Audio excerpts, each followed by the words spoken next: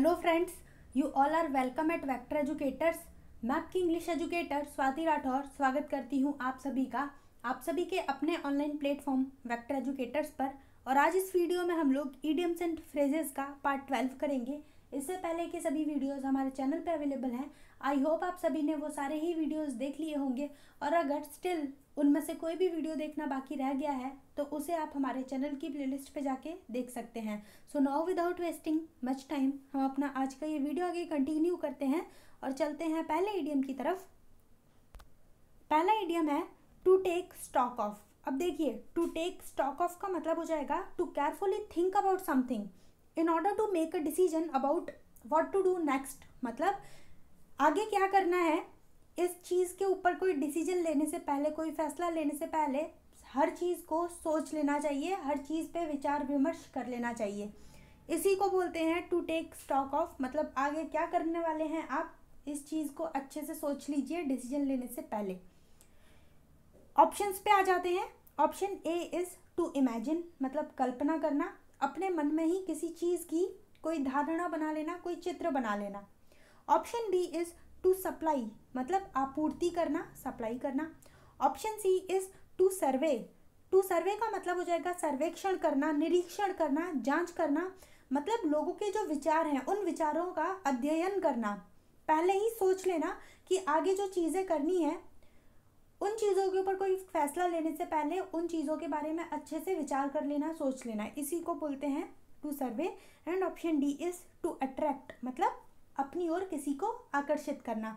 तो हमने सभी ऑप्शंस जान लिए और यहाँ पे ये जो हमारे ईडियम है टू टेक स्टॉक ऑफ़ इसका सही आंसर होगा टू सर्वे मतलब पहले ही कुछ फैसला लेने से पहले हर चीज़ का निरीक्षण कर लेना केयरफुली उसके बारे में सोच लेना।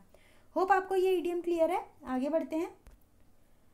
अगला ईडियम है अ मैन ऑफ़ स्ट्रॉ अब देखिए अ मैन ऑफ़ स्ट्रॉ का मतलब होता है अ वीक और कावर्डली पर्सन मतलब एक बहुत ही कमज़ोर या फिर कायर इंसान. अब यहाँ पे एक जो मैन है मतलब जो इंसान है, इंसान को हम लोग बोल रहे हैं स्ट्रॉ स्ट्रॉ का मतलब जानते हैं कि आप लोग? स्ट्रॉ का मतलब होता है कि जो ग्रेन्स वगैरह होती है ना, जैसे कि वीट और ये सारी जो गेहूँ वगैरह होता है तो जब ये गेहूँ वगैरह जब फ़सल पक जाती है, उसके बाद जब ये गेहूँ की फ़सल कटती है तो इसका जो स्टैम होता है उस स्टैम को ड्राई कर देते हैं ताकि वो जो ड्राई स्टैम है, वो एनिमल्स वगैरह के काम आ सके। तो हिंदी में मैं आपको बोलना चाहूँ तो इसे बोलते हैं भूसा। तो जब गेहूँ की फ़सल कट जाती है तो उसका जो स्टैम होता है ना, वो स्टैम को काट देते हैं, सुखा देते हैं तो वो भूसा बन जाता है। और उस भूसे को जानवर लोग यूज़ करते हैं। जानवरों का खाना होता है एक तरीके का। तो बस यही अ मैन ऑफ़ स्ट्रॉ तो यहाँ पे ये जो इंसान है, उसकी तुलना की गई है स्ट्रॉ के साथ. अब स्ट्रॉ कितना हल्का होता है ना, एकदम कमज़ोर सा वीक सा तो यहाँ पे एक इंसान है जो कि बहुत कमज़ोर है. मैन ऑफ़ स्ट्रॉ का मतलब हो जाएगा एक बहुत ही कमज़ोर वीक या फिर कायर व्यक्ति. होप आपको इसका मीनिंग क्लियर है. ऑप्शन की तरफ़ आ जाते हैं. Option A is a man of no substance मतलब ऐसा व्यक्ति जिसका कोई महत्व ही नहीं है, जिसका कोई मूल्य नहीं है. एकदम महत्वहीन व्यक्ति। Option B is a man without means मतलब ऐसा व्यक्ति जिसके पास कोई साधन नहीं है, आर्थिक रूप से वो सामर्थ्य नहीं है।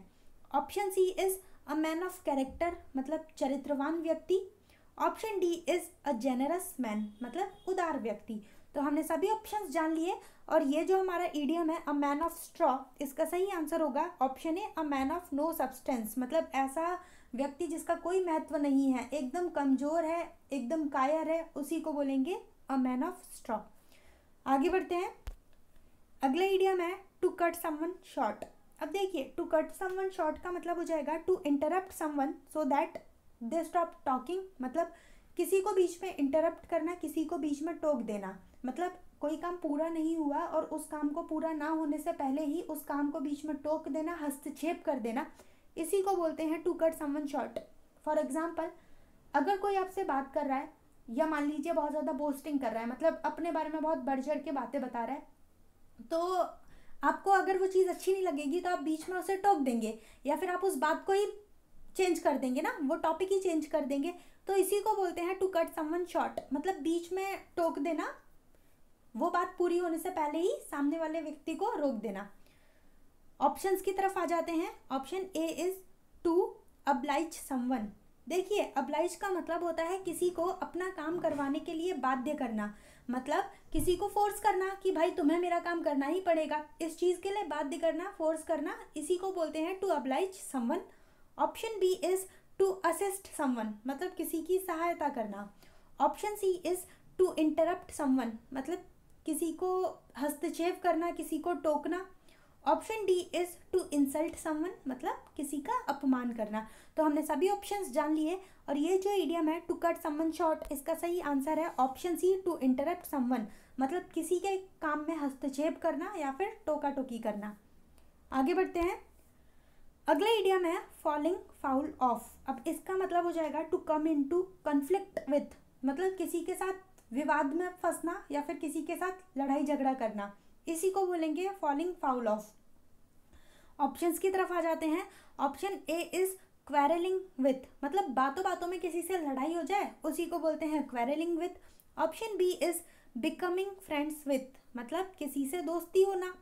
Option C is being honest with मतलब किसी के साथ ईमानदार होना। And option D is being scared of मतलब किसी से भयभीत होना। तो हमने सभी ऑप्शंस जान लिए और ये जो इडियम है फॉलिंग फाउल ऑफ़ इसका मतलब होता है बातों बातों में किसी के साथ लड़ाई झगड़ा हो जाए, विवाद हो जाए तो इसका सही आंसर होगा ऑप्शन ए क्वेरलिंग विथ आगे बढ़ते हैं अगले इडियम की तरफ़। अगले इडियम है स्प्लिटिंग हेयर्स अब यहाँ पे स्प्लिटिंग हेयर्स का मतलब होगा to make petty and unnecessary distinction मतलब छोटी छोटी बातों पे आर्ग्यू करना। अब मान लीजिए जो हेयर्स होते हैं हेयर को अगर आप स्प्लिट करेंगे मतलब बालों को आप अलग अलग करेंगे तो आप समझ सकते हैं कि जो हेयर होते हैं, वो कितनी फाइन चीज़ें होती है ना। मतलब it is very fine thing आप उसको अलग नहीं कर सकते, क्योंकि सारे बाल तो एक जैसे ही होते हैं। ऐसे आप डिस्टिंक्शन तो नहीं कर सकते ना कि ये बाल अलग तरीके का है, ये अलग तरीके का है। तो वो एकदम फाइन चीज़ है और सारे बाल बहुत ज़्यादा सिमिलर होते हैं, उनमें आप ऐसे डिफरेंस नहीं बता सकते।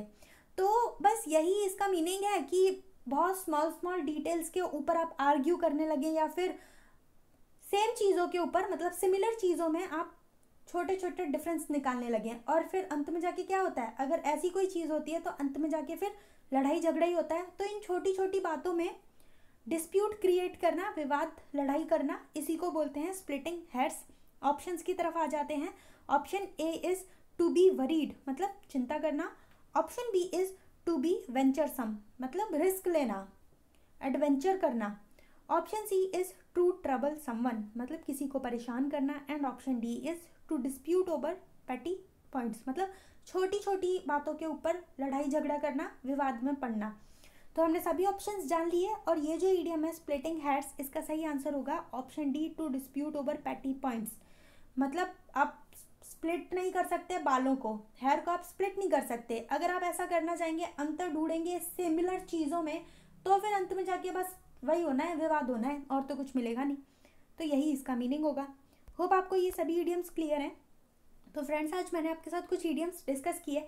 आई होप आप सभी को इन सभी के मीनिंग एकदम से समझ आ गए होंगे। अगर स्टिल डाउट है तो आप वीडियो को रिपीट करके भी देख सकते हैं। अगर आपको ये वीडियो अच्छा लगा है तो इसे लाइक कीजिए शेयर कीजिए अपने मैक्सिमम फ्रेंड्स के साथ रिलेटिव्स के साथ।